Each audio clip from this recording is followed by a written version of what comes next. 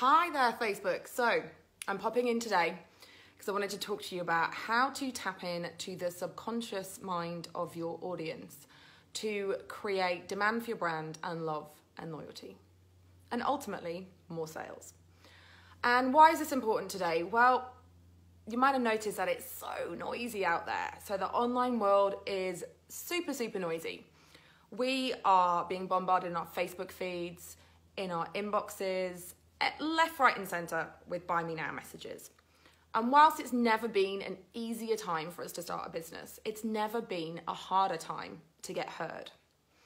But it's not all doom and gloom. There are ways in which we can capture the hearts and minds of our audience that don't involve sleazy NLP techniques or anything manipulative, but it goes back to basic human behavior and psychology. So, I wanted to talk to you about three easy ways that you can implement these in your business to help your message cut through that white noise, cut through the clutter, and get attention. So, the first one of these is to understand the core needs, the core desires, and the core feelings that your ideal customer or your audience want to feel. And the easiest way to do this is to go back to a tried and trusted uh, method that you'll know probably from school, and that is Maslow's hierarchy of needs. So you probably remember that kind of pyramid that you learned about at school.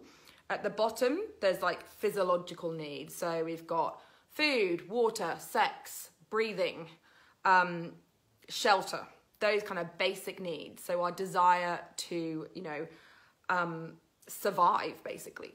Secondly, we've got safety. So our desire to live comfortably. And then you've got belonging. So it's all about love, connection, and relationships. And then the next one up is esteem, so self esteem. Our innate human desire to feel significant, to feel important. And then at the top, it's all about self actualization. So, how can you live life to the max and live out your purpose? So, push yourself to your personal limits. So, if you can think about where your product or service sits on that pyramid and what core need it fulfills, so where your customer are now and where they want to be. So, where are they? Like stuck in the mud? What's a problem they have? And what's this core need or desire that your product or service can help them with and what do they want to feel.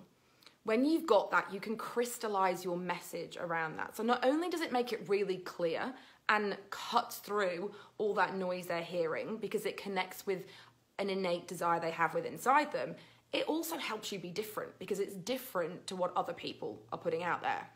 So I'll give you an example. If you think of a brand like Nike, they sit on that self esteem category.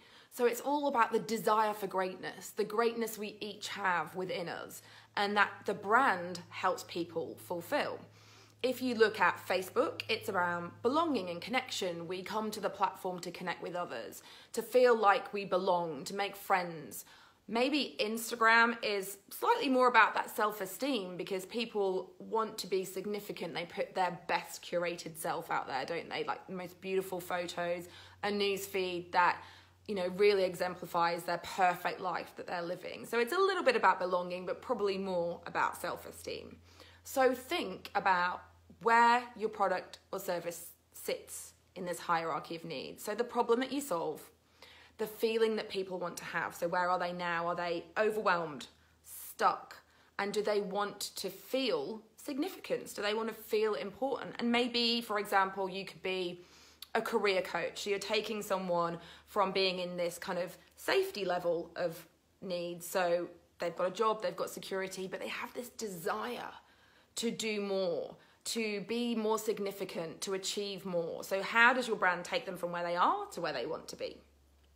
Now, the second thing that I want to tell you about is once you've crystallized that feeling, once you know what your audience's need are, weaving that into story. And why story? Well, essentially, story bypasses that conscious part of our brain and goes straight to the subconscious because when we learn facts and figures and data points, we kind of switch off. Like where you, if I gave you a list of things to remember, you would switch off. But you think about a story, think about taking a customer on a journey, putting your customer at the center as the hero. So your customer, he or she is a hero of your story. They're in this place where they're struggling. Maybe that, like I said with the coach example of a career coach, they're hating their job. They really want to change, but they're stuck. They've tried a few things and they're climbing this mountain on their journey, and then they meet you who is their guide, and you give them a solution and you help show them how to get to the end result and the feeling. So, if you can weave your message into a story arc, it's much easier to connect emotionally and to create a relationship. It also works exactly the same if you have a product. So, say you have someone, you have a skincare product um, just off the top of my head. So you've got someone who's struggling with acne or trouble skin. They react to absolutely everything. They've bought all these different products out there. Nothing's worked. They've wasted money. They're feeling despair and they want to feel confident. They want to feel significant. They want to feel great in their skin. Or maybe they want to feel love. So they're on that belonging level. They want to feel love and connection because without having great skin, they feel insignificant.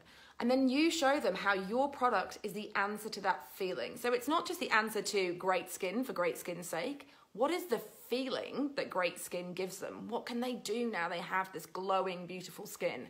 And how will they feel? So, first, identify the need. Second, weave that into a story. And the third point that I want to talk about is the law of singularity. So there's a great book on branding and marketing by Al Ries, and it's um, I think it's called the 22 Immutable Laws of Branding or Marketing. And one of these laws is the law of singularity. And this is so important if you're wanting to cut through.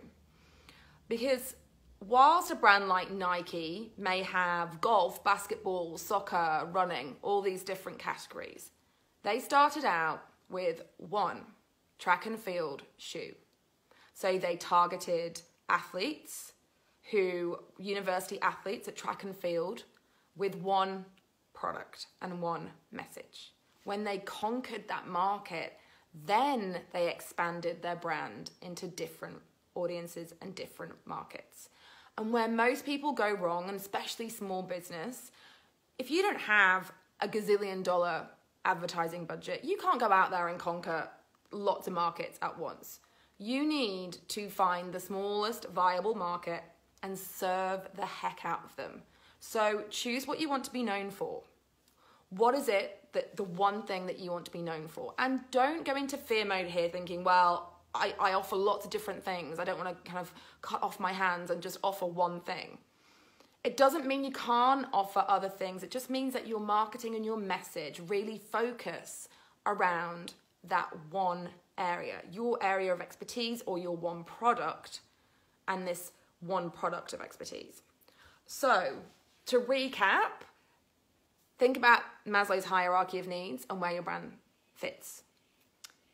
Use story to captivate and enthrall people and create that emotional connection.